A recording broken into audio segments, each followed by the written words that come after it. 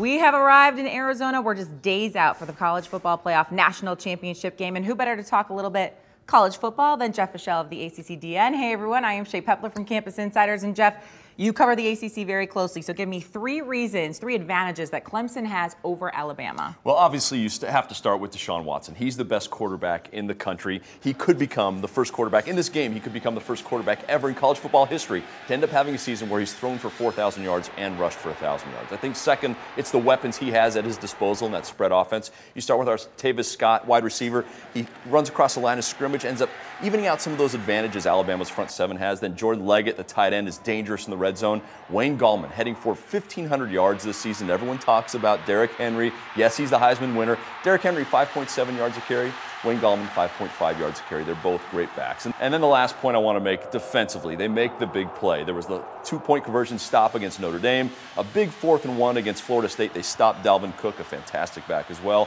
And then against Oklahoma, a game changing fourth down stop as well. They went on to cruise, but really that was a play that changed the game. Everyone wants to talk about how powerful Derrick Henry is and how powerful this Alabama defense is. Not so fast. Clemson's got some weapons as well. Uh, no doubt about it. This team puts up tons of yards, tons of points. They are tough to stop. Well, you can catch all coverage surrounding the national championship game live from here in Arizona with Jeff Fischel. I'm Shae Peppler. We'll see you next time.